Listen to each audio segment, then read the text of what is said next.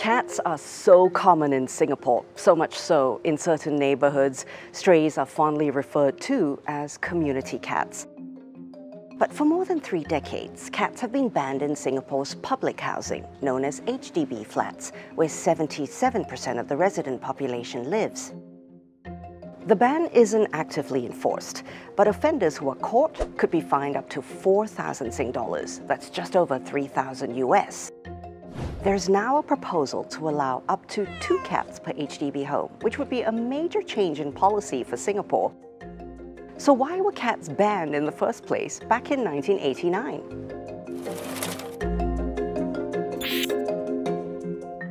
Louis Ng, a Member of Parliament and longtime champion of animal causes, explains.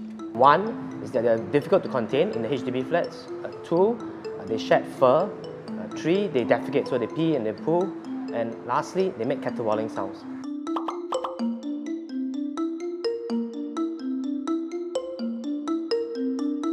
You can see the issue really makes the claws come out. But certain sizes and breeds of dogs are allowed as pets in HDB homes, as long as they're licensed by the Animal and Veterinary Service. So is there a double standard at play? A lot of the things, uh, concerns we're hearing about cats are very similar to dogs. Some of the dogs, the owners leave the door open, they roam outside as well, they pee, they poo everywhere, they bark. A lot of times these cats are actually used as collaterals.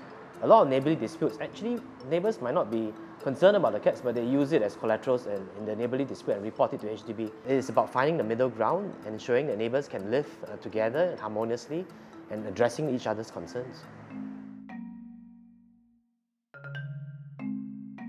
In any case, many people living in HDB homes already have cats. So when do you get into trouble for having one?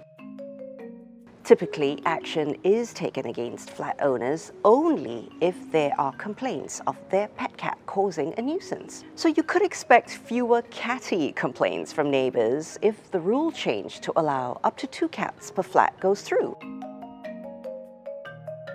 Cat lovers say this rule review and introduction of guidelines is a long time coming. So many are relieved that we've finally reviewed this policy and reversed our, our decision, hopefully next year to allow the keeping of cats in HDB flats. Uh, because really it's a policy that just doesn't make sense. It gives us a way to clarify to everybody what responsible cat ownership is. And when we have this clear demarcation, you also have in place a penalty system to reduce the irresponsible cat ownership and maintain like a very conducive, conscientious environment for everybody involved.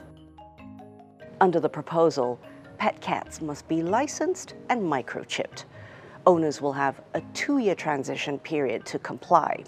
During this time, pet cat licenses will be issued free of charge. I think in the case of cat ownership, it really takes two hands to clap. So one, obviously, the, the government has changed the policy. It's about to change it next year. Uh, but two, it really needs both cat owners and neighbours to coexist to make sure each other understand what each other's concerns are. If there aren't strong objections from a public consultation, the intention is to implement the changes in the later part of 2024. Under the proposal, those who already have more than two cats can apply to license and keep them. Authorities are also looking into helping cat fosterers who may exceed the proposed limits. All first-time license applicants will also have to complete a one-time free online pet ownership course. Responsible cat ownership is this concept that sounds very fancy, but it's actually really basic. Responsible cat ownership refers to um, a set of guidelines that helps ensure that you can keep your cat in your home responsibly without causing disamenities to your neighbors. It also um, focuses on the welfare of the cat itself. If you own a cat or plan to get one, here's what you need to know and do. so that there is some accountability. If we find a cat outside, like now for example, you really, really wouldn't know whose cat this is, and it's hard to trace back and, and perhaps enforce uh, the rule of no peeing and pooing in, in the public area, you must clean up after that. But if the cats are microchipped, then there's some traceability and there's some ownership in, in that sense. This means um, cat proofing in the form of, let's say, grilling or meshing your windows to prevent any sort of accidental falls. Um, ensuring that your gate is meshed so that the cat cannot dash out and then get into trouble outside.